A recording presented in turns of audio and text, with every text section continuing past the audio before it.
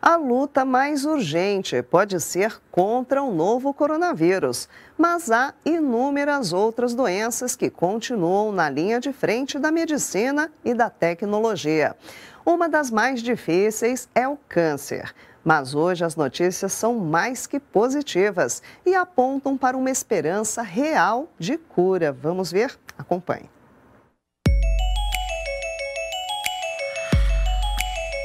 Uma vacina contra o câncer que combina a efetividade da quimioterapia e a eficácia de longo prazo da imunoterapia.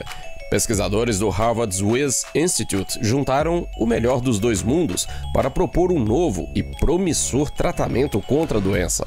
A vacina contra o câncer, baseada em biomaterial desenvolvida pelos cientistas, foi apresentada em um estudo publicado na Nature Communications. Em laboratório, 100% das cobaias com câncer de mama que receberam a vacina sobreviveram.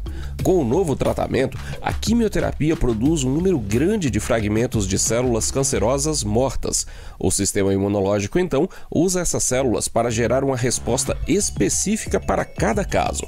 Agora, os pesquisadores esperam que mais estudos permitam compreender e otimizar o sistema até que ele possa ser finalmente testado em humanos.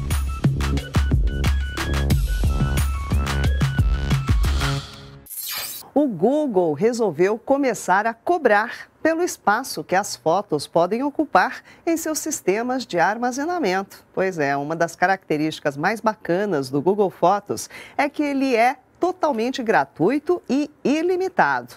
Mas olha só, isso vai mudar. Vejam.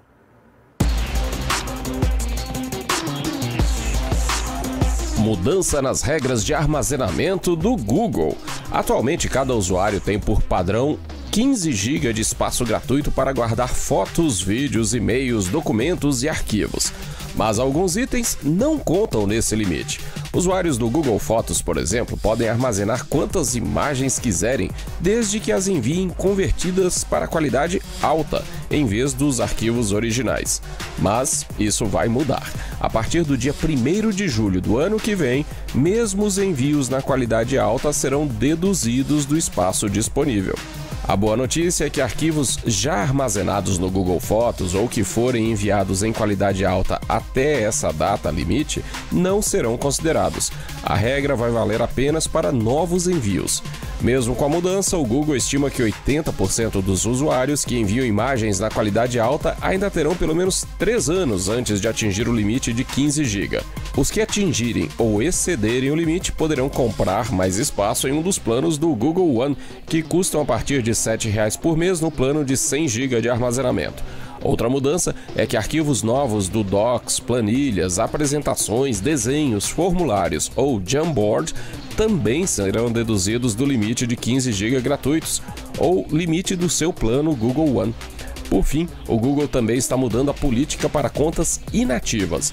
Novamente, a partir do dia 1 de junho do ano que vem, contas inativas há dois anos ou mais poderão ter seu conteúdo excluído. Segundo a empresa, os usuários serão notificados várias vezes antes que qualquer conteúdo seja removido para que tenha o tempo de agir.